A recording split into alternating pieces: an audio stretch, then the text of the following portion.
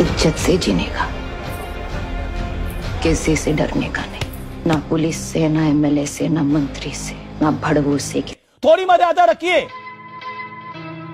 अगर पलट के मैं आपको चार शब्द बोल दूँ तो कैसा लगेगा मैं पर मैं नहीं बोलूँगा